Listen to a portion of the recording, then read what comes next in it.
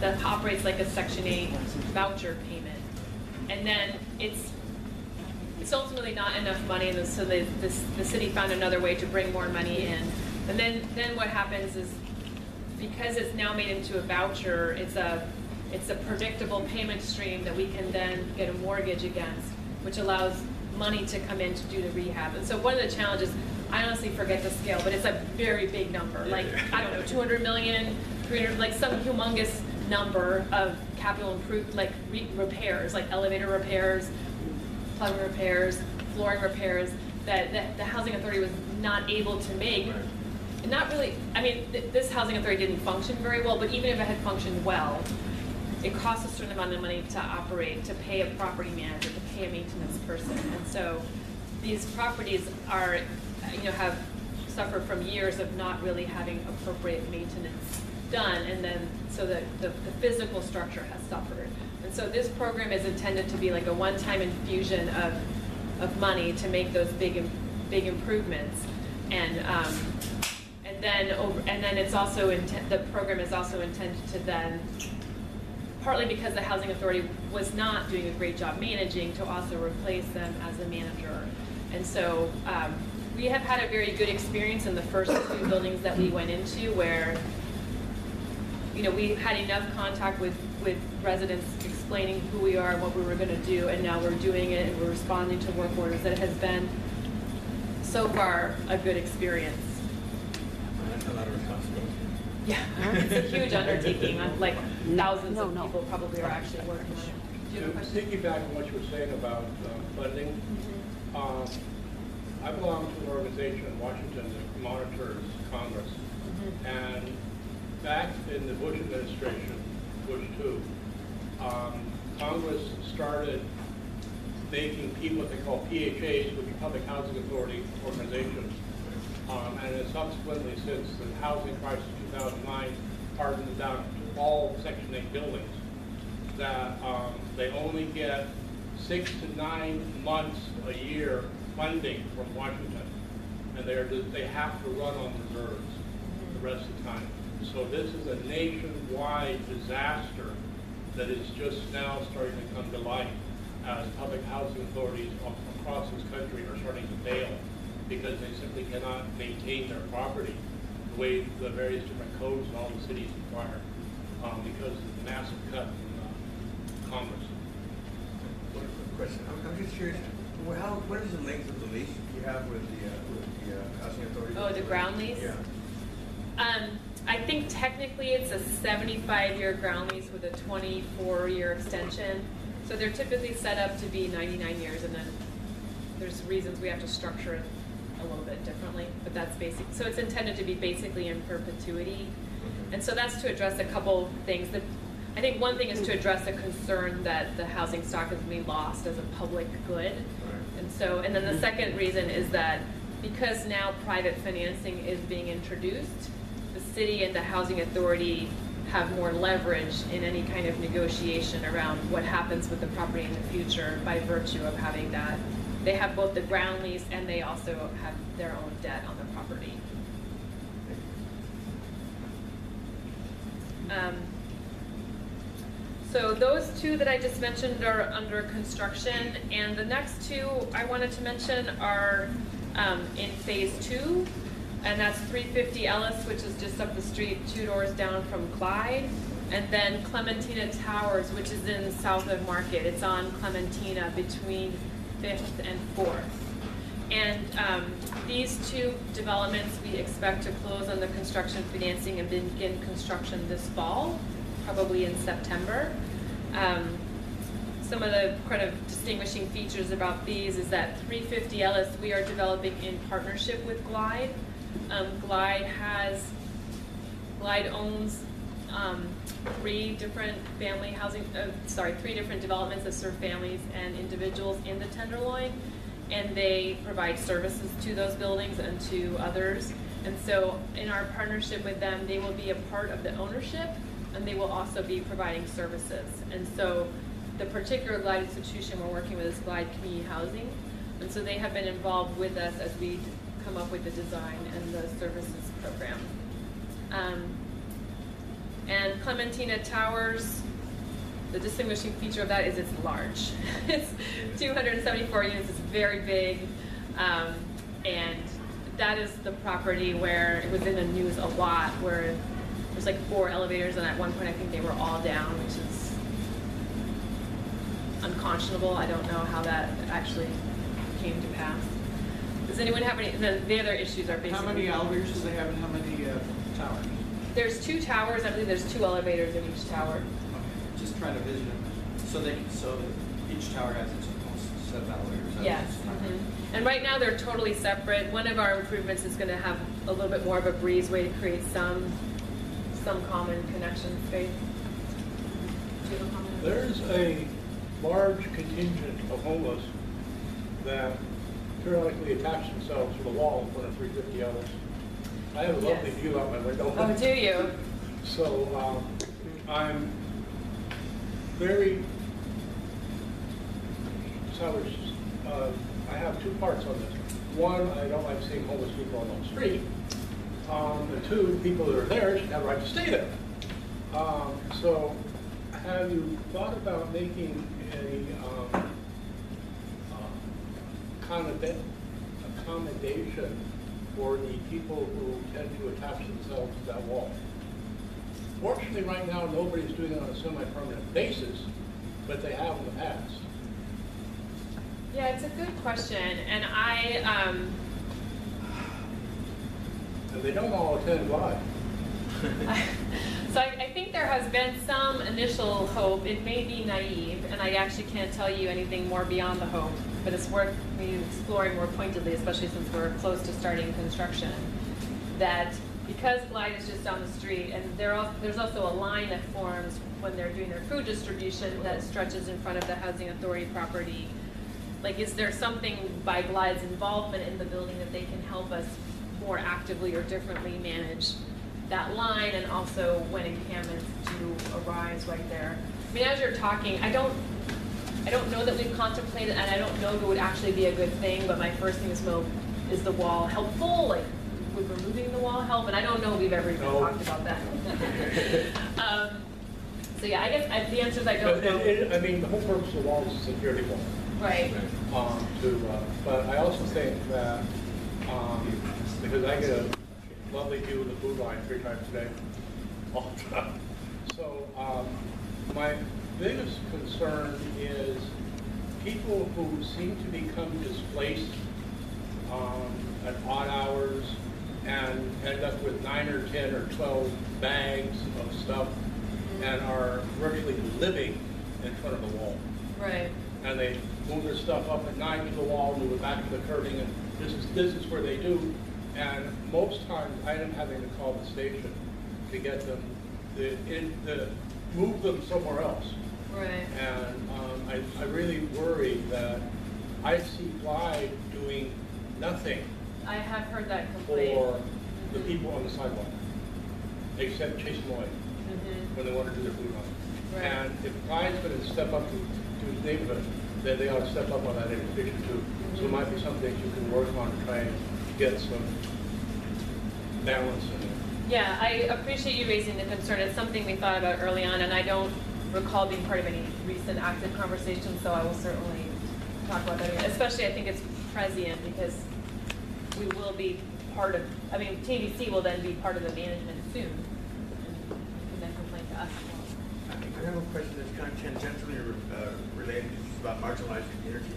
That area where the Clementina Towers was was historically Filipino at one point, right? And it's my understanding that uh, in some ways, the Clementina Towers reflects that. Uh, Is that, are, uh, are are you guys, can you guys do anything that that would, that would help preserve what, what what remains of the Filipino community in that area? Um, I mean, I think broadly in terms of south of Market, I think you know Lorenzo on our Yeah, right. staff, our TNDC's community organizing staff. I believe he himself is Filipino. I know he's very active in the Filipino community in Soma, and um, so I think in, in those through those avenues, we're trying to be of support to that community. Um, in terms of Clementina itself, I don't actually have the demographic information with me. I do have a summary of that back at the office. I mean, what I hear people talk about most is it has a very, it has a very high number of Chinese Americans, and I can't remember, I'm gonna betray my general ignorance, I think generally it's more Cantonese in San Francisco, which I think is, is the case in that building, but I'm not totally sure. Um, I do know you know, when, it, for all, for, for all of the developments, when we go and do community meetings, we make sure that we have translators that can speak those languages. And so I can't remember, I know that the languages that we are encountering most common in the tenants in all of these buildings is, um, is Chinese and, um, Russian and Vietnamese. And I'm not sure if there's enough Tagalog speakers that we have had a Tagalog, um, interpreter, but we are putting written materials into Tagalog. Are there any other questions about? Yes, Are you finished yet, or do you still have more? I have two more. Okay. Uh, so the last two, I do want to be conscious of time. Um, these are these are buildings that are owned by TNDC. Uh, so the first one is O'Farrell Towers. It's located on O'Farrell. Um, it's about 100 units of project-based Section 8. Um, and it is having a rehab to kind of improve the exterior skin to address water intrusion issues. And then we're also updating the units. We are also, right now, it doesn't have any space like this for resident meetings, so we are building an addition to create that space. Um, some of you may be familiar with the building because on the ground floor, there is a senior center that is operated by Northern California Presbyterian Homes and Services. And so though that use is going to continue, um, they will be somewhat affected by the rehab and we're working with them on that. But, um, basically that program is there, will still be there, will be there in the future. Does anyone have any questions about that one? Okay, so then the last one, you've been very patient, is the Yosemite Apartments. So this is a beautiful um, historic building. It's 32 um, studio units. It's up the street on Eddy in the 400 block. And it's one of the earliest acquisitions that TNDC made. So when TNDC was first founded, a lot of the strategy was to buy existing buildings and just get them into nonprofit ownership and control and have, you know, the ownership and the way that they were run have the intention of um, continuing to serve low-income people by having lower rents. Can Um, Yes. The word blocking, What? blocking, Blocking? yeah, it was about having one building on every block so that they go, you know, Yes. Yes, that was part of the strategy. Um, So we've owned that building for a long time, but we have never done a, a comprehensive rehab of it. So we are planning a really comprehensive rehab right now. We will be doing seismic improvements, um, accessibility improvements, a big thing around path of travel, getting into the building, um, navigating to the laundry room. Um, We'll be replacing the elevator, um, and updating the units. They, we've owned it for more than 30 years, um, and we haven't updated the units, so they'll be getting new kind of kitchens and bathrooms and, and whatnot. Um, and so we're really excited. We found a, we've been wanting to work on that project since before I joined TNDC, and we found a, a way to do it, um, accessing some state financing. So we are crossing our fingers. That one, we haven't won the state award, so it's not for sure. Um, but we are working really hard to seize this opportunity and pull the financing together to make this one happen. Does anyone have any questions? Yes. Are are those residents then going to see um, kind of a long-term dis, or, or uh, resale? Are we have to Relocation? relocate those residents for a long period of time during this rehab, or is it? You know, I don't know that we've determined how long, but our, our, our plan is to do it like we have been doing the RAD development, so we would probably, I'm just speculating, like we are very early on, like we just have done our schematic design, um, on it. We would probably try to vacate a floor and then rotate people through that floor, but I don't, I think you're asking about the duration, will it be two weeks or four weeks or six weeks? I don't, I don't know that yet. Do you have So you know about the dog shootings? That was during the rehab, where the relocation was not done particularly well. Uh-huh. It was a- pretty much a factor in why the guy went crazy, because he was claustrophobic dog, and everyone had Oh, yeah. I had not heard about that before, but I know Lori Linker, who worked on relocation at the time. I'm sure she can Relocation is important. tell me It more. is. Yeah, so I mean, if, if you guys are interested, I can, relocation is important and it's, it's really challenging. And to be really transparent, we, we've had to work on it over the last year. Um, you know, we used to have in-house relocation staff, Lori, who has been with the company for a long time, started there. She now does fund development and, um, you know, works to bring in funding for our program. Um, so we, we partner between housing development and property management on um, managing that work. Um, I don't know if you guys have encountered, because I know many of you are familiar with TNDC or have lived in buildings, a guy named Mike Souse, who was most recently at the Ambassador. He used to be the front desk person at 215, which is our property management main office. He's our um, relocation coordinator, like our man in the field. So I'm really pleased that he's in that role because I think he's a very good fit. Like he's been in our buildings, he understands the tenant population, he understands, you know, the way we manage, and he's worked in the front desk, so he also understands sort of the corporate um, infrastructure.